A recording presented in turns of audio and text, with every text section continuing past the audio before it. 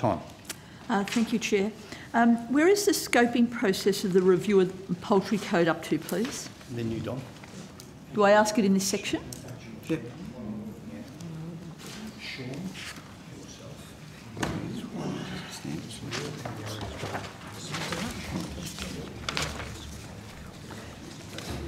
Which one is it?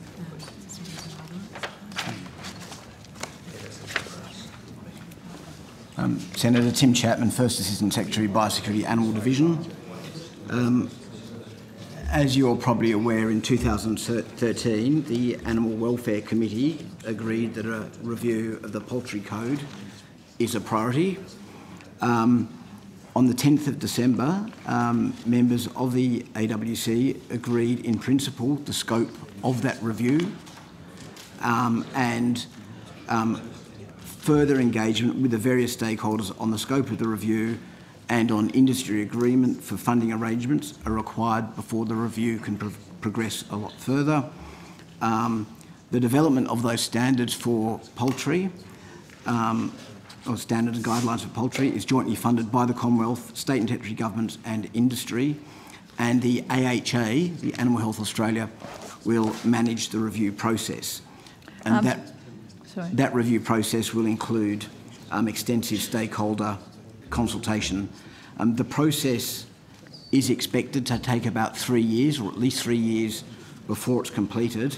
And um, at this stage, a target date and terms of reference have not yet been determined.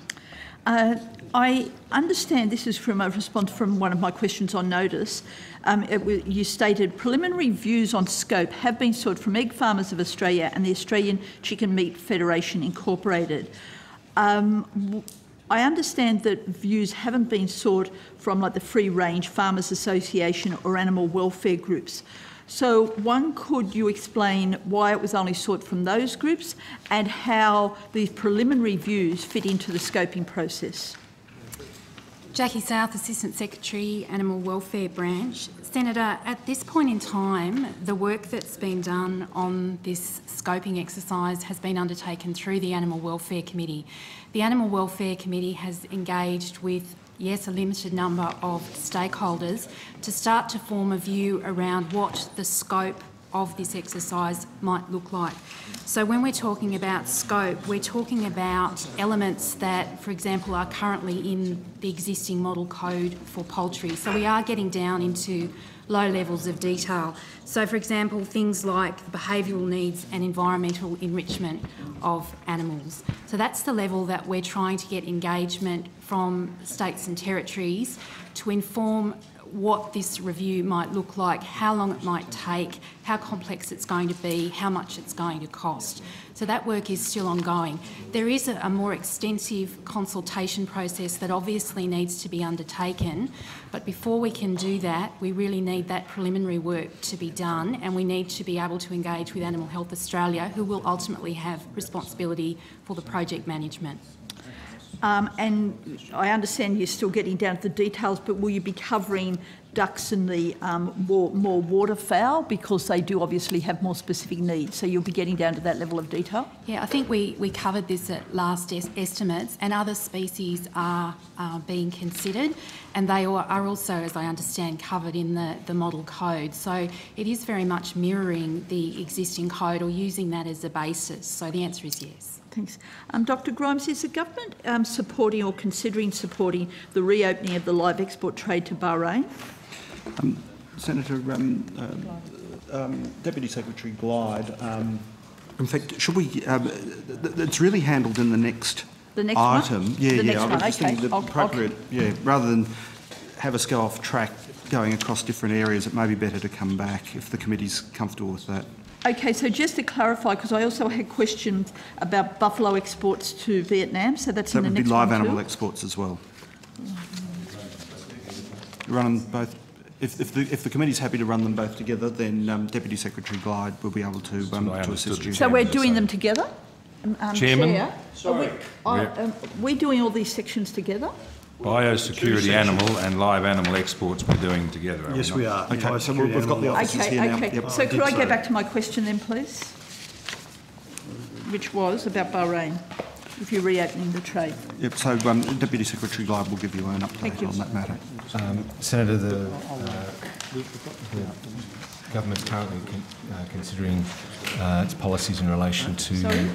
Sorry, the government is considering its policies in relation to opening, uh, reopening the trade, um, and I really can't comment much more than that. So you've said that it's, uh, there's consideration. Does that mean there's talks with Bahrain about this? or talks with the pastoralists or all, everybody? There's, there have been discussions uh, from, with the industry um, in the sense that uh, the industry is keen to uh, reopen trade where ESCAS compliant supply chains can be established.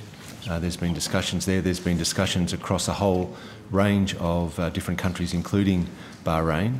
Uh, the government has made it very clear its intention to um, to do what it can to reopen the trade, to uh, increase the trade, because of the value to the Australian rural economy.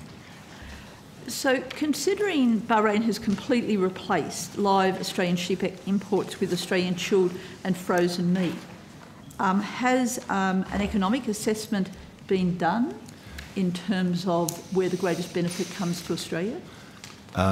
Senator, we haven't, as far as I'm aware, we haven't, uh, certainly the Live Export Division nor the Australian Bureau of Agriculture, Resource Economics and Sciences hasn't uh, done any economic assessment. What we, I think, might be in a position to describe what's happened to the trade. I think earlier on in your question, uh, your question earlier this morning, you mentioned that as a result of the suspension of the live trade, there had been a significant increase in the import of um, Australian boxed, chilled, frozen um, lamb, and that's certainly the case. But we haven't had an investigation into what are some of the other factors that are happening in that market because we'd also imagine uh, that there would be some substitution of live animals from other um, exporting countries as well as importing um, animals for uh, consumption. As you'll be aware, one of the uh, there's considerable import of animals to do uh, with uh, particular religious festivals um, in in the region, and so those sort of things do end, end up uh, yeah, uh, distorting the market as well. So there's certainly the case, and we can give you Ms. Irwin might be in a position to be able to give you the statistics if that would help, or we can perhaps uh, take that on notice and supply uh, what we know about uh, the the box trade and the live trade over the last uh, three or four years.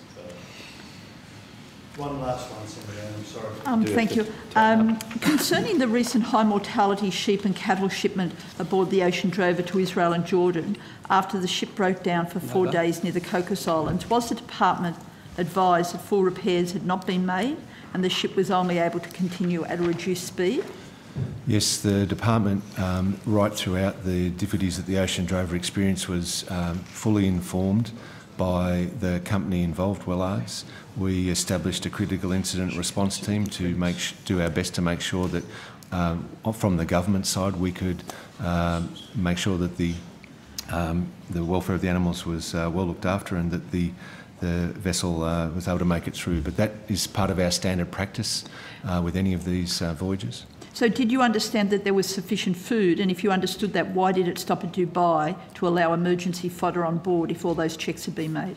because of the um, the the fact that the vessel couldn't proceed at its previously organised uh, uh, speed, um, it soon became apparent that even though we do require um, additional feed, fodder, etc., for the animals on top of what you would normally require in a voyage for contingency purposes, that additional amount wasn't going to be sufficient. So after consultation, uh, the, the, the uh, company um, and ourselves spoke with the various ports involved and were able to organise for uh, additional fodder to be provided to those, those animals on board. Why didn't you consider that that boat should have returned to Australia, considering the um, serious problems on board?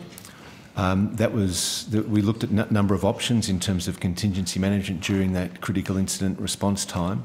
Uh, we had to contemplate the questions such as the length of the voyage back to Australia, the difficulties that we might have uh, in terms of animal health uh, and disease in uh, having those animals return to Australia, and on balance the the um, the decision was made in the interests of the uh, welfare of the animals that the, the best solution was to take on board feed and continue with the journey.